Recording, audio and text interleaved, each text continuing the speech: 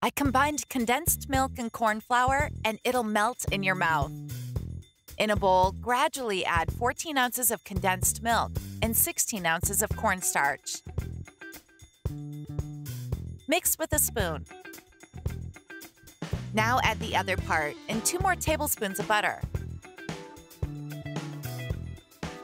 Mix with your hands until smooth.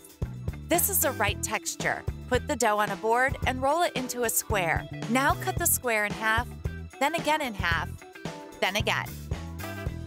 Take a piece and roll it into a ball. Put them in a baking pan. You don't need to grease the baking pan as the dough contains butter. To make the cookies prettier, flatten them with a fork. Put them in the oven preheated at 350 degrees Fahrenheit for 15 minutes. And our recipe is done. Just take them from the oven and enjoy.